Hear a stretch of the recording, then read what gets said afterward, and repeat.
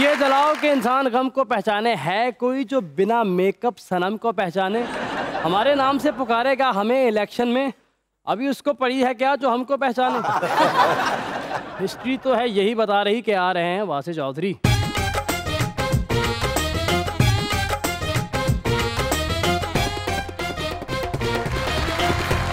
देखती आँखों सुनते कान और धड़कते दिलों आप सबको। हमारी तरफ़ से अस्सलाम वालेकुम। क्या हालचाल हैं यार मज़े आज तो प्रोफेसर लग रहे हैं अच्छा सर ये तो प्रोफेसर लग रहे हैं उधर देखिए माशाल्लाह ਹੁਣ ਸਾਨੂੰ ਜ਼ਹਿਰ ਲੱਗ ਰਿਹਾ ਅੱਜ ਮਾਸ਼ਾਅੱਲਾ ਮਸਨ ਕਿੰਨੀਆਂ ਕੁ ਸ਼ਰਟਾਂ ਫ੍ਰੀ ਮਿਲ ਗਈਆਂ ਤੈਨੂੰ ਇੰਜ ਦੀਆਂ ਲੈਣ ਗਈ ਹੋਏ ਤੇ ਘਰ ਦੇ ਕਹਿੰਦੇ ਨਹੀਂ ਚਲੋ ਇਹ ਪਾ ਲਓ ਫਿਰ ਹੋਰ ਕੀ ਪਾਉਣਾ ਹੈ ਇਹ ਸ਼ਹਜ਼ਾਦਾ ਆਦਮੀ ਹੈ ਸਰ।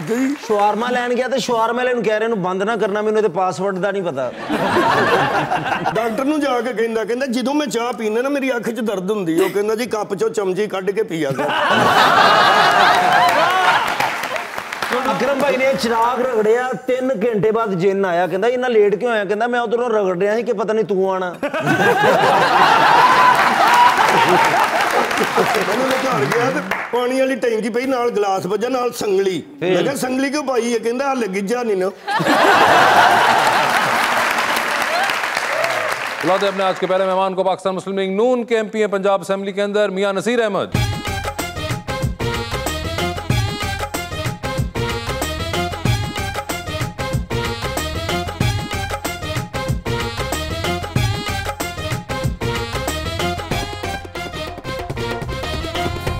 साथ देने के लिए हमारी दूसरी मेहमान मॉडल और अब एक बडिंग एक्ट्रेस भी हैं, मोहतरमा Momina Bajwa.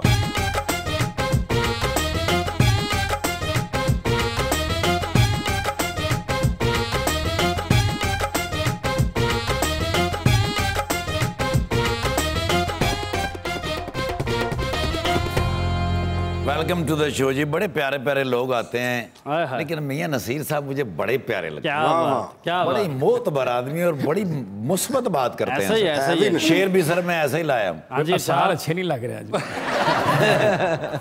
शोबिज भी और पावर शो भी एक साथ ही जलवा कर एक साथ ही जलवा क्या बात। शोबिज भी और पावर शो भी एक ही साथ जलवा कर रहे हैं नून लीग के मियां नसीर हैं पीपी 125 के सियासतकार ये बचपन के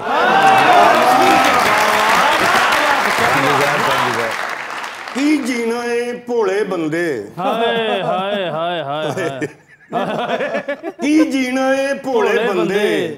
ਵੇਖੋ ਸਿਦਕ ਨੇ ਰੋਲੇ ਬੰਦੇ ਤੇ ਬਹੁਤੀ ਦੇਰ ਨਹੀਂ ਦਿਲ ਵਿੱਚ ਰਹਿੰਦੇ। ਅੱਛਾ। ਬਹੁਤੀ ਦੇਰ ਨਹੀਂ ਦਿਲ ਵਿੱਚ ਰਹਿੰਦੇ। ਹੌਲੇ ਸ਼ੇਰ ਤੇ ਹੌਲੇ ਬੰਦੇ। सियासत का मैदान हर जगह सज रहा है। सज रहा है सज रहा है। हर कोई आवाम को क्यों ठग रहा है? जिनको आप चीनी चोर कब्जा माफिया कहते थे उनको साथ मिला के हुकूमत बनाना कैसा लग रहा है? मियाँ साहब क्या हाल चाल हैं? ज़बरदस्त जी शुक्र अल्लाह इतनी खुशियाँ मिलने के बावजूद और बहुत कंपोज्ड और बड़े सटल लग रहे हैं जो जो कुछ हो गया और जो जो हो रहा है। जी, जी, अब जी। तो देखें आप साढ़े तीन साल कोने में बैठे रहे थे अब तो मैदान में आ गए हैं आप लोग। हाँ मैदान में आए आप ठीक कह रहे हैं लेकिन हुकूमत कम और मसाइल ज़्यादा आए तो इसलिए अभी। उसे हल करेंगे। ये बात अभी पिछले दिनों प्राइम मिनिस्टर साहब से भी किसी सहाफी ने कही कि जी ये तो कुछ लेने के देने नहीं पड़ गए इस टाइम पे ये इशू नहीं है आपको याद हो मैं जब इस प्रोग्राम में आया था और आपने कहा था कि जी ऑपोजिशन क्या कर रही है? तो ऑपोजिशन का भी तो कोई किरदार होना चाहिए। तो फिर ये मैं ये समझता हूँ कि पाकिस्तान के अंदर जिस तरह की गवर्नेंस चल रही थी जिस तरह की हुकूमत चल रही थी पाकिस्तानी लोग परेशान थे। सो इसलिए ये ठीक फैसला किया इंशाल्लाह हम इसको फेस करेंगे मेरे पाकिस्तानी परेशान सी हम तुसी आप परेशान हो गए अच्छा चलो जी करोड़ की अगर परेशानी बाई बंदे ने ले लिए तो कोई बुरी गल नहीं। तो हम परेशानी लेने को तैयार हैं। मगर वैसे आपको अंदाज़ा था जब ये होने वाला था कि ये हो तो जाएगा लेकिन उसके बाद आगे मसाइल का अंबार इंतज़ार कर रहा है। नहीं जी नहीं पूरा अंदाज़ा था। जब से ये गवर्नमेंट आई थी ये सब हर रोज़ अंदाज़ा था क्योंकि हमारे चीज़ें हमारे सामने देखे ना अंदाज़ा तो उसी दिन है जब 105 से डॉलर 190 पे जाना है जब पेट्रोल महँगा होना है जब पाकिस्तान के अंदर डेवलपमेंट का काम कोई नहीं हो रहा इदारों के अंदर काम कोई नहीं हो रहा हुकूमत का नज़म कोई सामने नज़र नहीं आ रहा तो हमें तो नज़र आ रहा था ये नहीं है कि दस पंद्रह दिन पहले अंदाज़ा हुआ है या गवर्नमेंट आने के बाद अंदाज़ा हुआ है ਜਦੋਂ ਦੀ ਤੁਹਾਡੀ ਗਵਰਨਮੈਂਟ ਆਈ ਸਬਜ਼ੀ ਲੈਣ ਜਾਓ ਨਾਲ 20 ਕਿਲੋ ਆਟਾ ਫ੍ਰੀ ਦੇ ਰਹੇ ਨੇ आप कह रहे कि अभी आए ही हैं तो कम करेंगे चीज़ें लेकिन ये जो अचानक से महंगाई बढ़ी है वो क्यों बढ़ी है अच्छा जी मैं आपको बात बताऊं ये चार पौने चार साल का तसलसल है जो दस दिन के अंदर अभी ठीक नहीं होना इसको टाइम लगना। है वो भी कह रहे थे कि टाइम लगेगा टाइम मैं आपकी बात से एग्री करता हूँ जी टाइम लगेगा लेकिन चार साल नहीं लगने। चार साल में आप चीज़ें कम अज़ कम ख़राब ना करें कहीं स्टे तो करें ना। तो ख़राब हुई हैं। मतलब आपके सामने चीज़ें बहुत ख़राब हुई हैं। पूरी इस खत्े के अंदर 2018 से पहले ये पाकिस्तान दुनिया की पहली 20 इकोनॉमीज़ के अंदर था।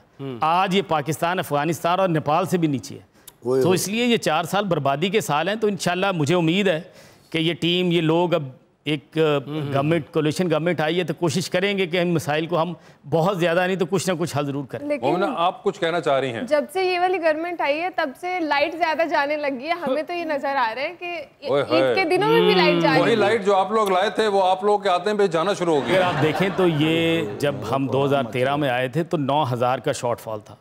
और हम 2013 से 18 के अंदर सिस्टम के अंदर 12000 मेगावाट लेके आए हैं। 2018 के बाद से आज तक 22 एक मेगावाट भी शामिल नहीं है ये वही बिजली है जो हम ही लेके आए थे तो इंशाल्लाह हम इसे बहाल करेंगे लेकिन हम इसको मजीद ये बेहतर होएगा ਲੇਕਿਨ ਸਰ ਬਿਹਤਰੀ ਆਈ ਮਾਸ਼ਾਅੱਲਾ ਬਿ- ਬਿੱਲ ਦੇ ਵਿੱਚ ਬਿਹਤਰੀ ਆਈ ਹੈ ਇੱਕ ਮਹੀਨੇ ਚ 9 ਰੁਪਏ ਯੂਨਿਟ ਵਧਿਆ ਹੈ ਬਿਹਤਰੀ ਆਈ ਹੈ ਇਹ ਪੂਰਾ ਇਹ ਤੁਹਾਨੂੰ ਭੁਗਤਣਾ ਪਏਗਾ 4 ਸਾਲ ਦੇ ਸਰਾਜ ਜਾਂਦਿਆਂ ਜਾਂਦਿਆਂ ਇਹ ਟਾਈਮ ਲੈਣਗੇ ਤੁਹਾਡੇ थोड़ा सा तो अरसा रह गया था उनको गंदा होने देते ये एक और स्कूल ऑफ थॉट है ये यार भी ये ये एक स्कूल ऑफ थॉट ठीक है आपका अपनी जगह पे लेकिन बतौर अपोजिशन हम पे सवाल बहुत थे कि कितनी और ख़राबी आपने देखनी है कहाँ तक और जाना है। तो बहुत ज़्यादा ख़राबी बढ़ गई थी सिर्फ़ हमारे लिए नहीं।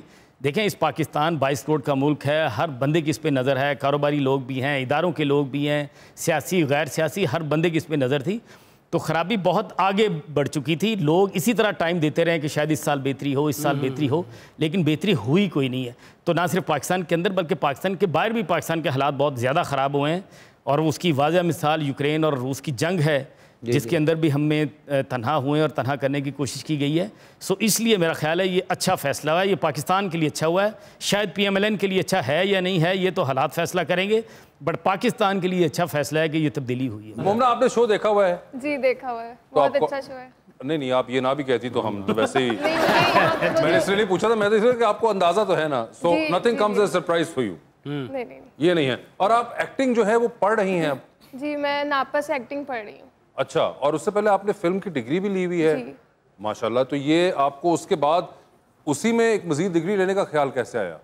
क्योंकि मुझे एक्टिंग ही करनी थी तो मैं ये चाह रही थी कि मैं कुछ सीख के जाऊँ क्योंकि आजकल हम लोग बस फॉलोअर्स देखते हैं और उनको चांस मिल जाता है। वो जो चांस मिलता है वो आपको एक दो ड्रामास के अंदर आपका पता चल जाता है कि इस बंदे को एक्टिंग आती है या फिर ये फॉलोअर्स के पीछे आया। बिल्कुल। तो कम अज कम कुछ सीख के जाए तो फिर पता चलता है कि ये एक्टिंग के लिए आया तो एक्टिंग सीख रही तो है। इसलिए आपने नापा में दाखिला लिया। बावजूद इसके आप पहले एक डिग्री कर चुकी हुई थी बट दैट इज ग्रेट आपने बड़ा जबरदस्त आई थिंक थॉट प्रोसेस आपका बड़ा कमाल है ਦਾਖਲੇ ਤੋਂ ਯਾਦ ਹੈ ਮੈਂ ਅਕਰਮ ਭਾਈ ਨੂੰ ਮੈਂ ਕਿਹਾ ਮੈਂ ਕਿਹਾ ਤੁਹਾਡਾ ਮੁੰਡਾ ਵੇਲਾ ਰਹਿੰਦਾ ਇਹਨੂੰ ਕਿਤੇ ਦਾਖਲ ਕਰਾਓ ਤੇ ਹਸਪਤਾਲ ਦਾਖਲ ਕਰਾਇਆ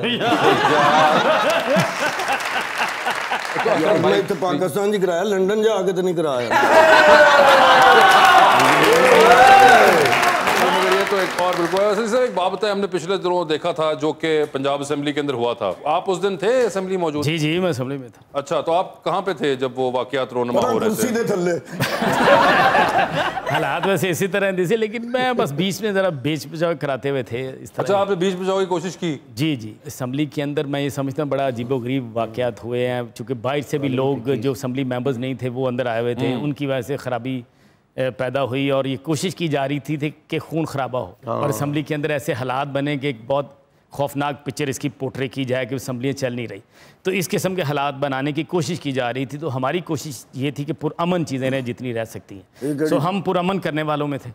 तो वो उसको पुरअमन करते रहे हैं। तो उसमें थोड़ी बहुत ये हुई है। परवेज़ लाई साहब ने अपना कोशिश की है एक एक्टिंग करके एक शक्ल बनाने की। लेकिन चूँकि कैमरे भी लगे हुए थे गवाह भी मौजूद थे उनको फ़िलहाल हाथ नहीं लगा वहाँ पर अच्छा। तो वो एक्टिंग भी ठीक नहीं कर सके वो कह रहे थे कि वो सलमान रफीक साहब और वो आई थिंक राना का नाम किसी ने हाथ नहीं लगाया। मगर नहीं वो अजीब किस्म के विजुअल्स थे जो कि पूरी कॉम ने देखे थे और बड़े हमने से पहले देखे नहीं हुए थे इस किस्म के पंजाब असेंबली के अंदर। बड़े अरसे से हम ये आप ठीक कह रहे हैं ये आप ठीक कह रहे हैं लेकिन मैंने तीसरी बार एमपी हैं तो आपने भी कभी देखा था इस नहीं इस तरह नहीं हुआ। मैं लेकिन मैं आपको बता रहा हूँ कि उनका इरादा ये था कि इस किस्म का खून खराबा कराया जाए और ऐसी सूरत हाल बनाई जाए कि लगे कि ये असम्बलियाँ चल नहीं रही। तो बहुत बड़ा खून खराबा होने जा रहा है आइनी बहरान पैदा होने जा रहा है।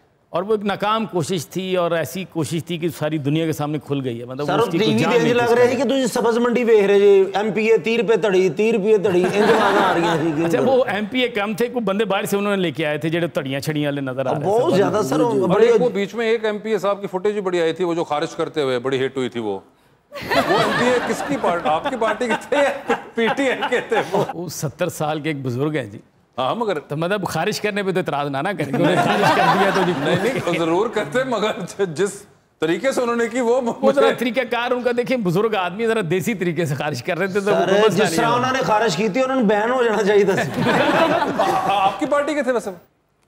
मेरा ख्याल है जी मेरी हर तलबकार वफादार नहीं हो सकता कोई गुर्बत में समझदार नहीं हो सकता। नौकरी के तो वाके ही नहीं है यारो। हालत ऐसी है, कारोबार नहीं हो सकता। कर लो जितने भी जतन पर यहाँ पे ताकतवर। भाग सकता है, गिरफ़्तार नहीं हो सकता। सही क्या ना आ?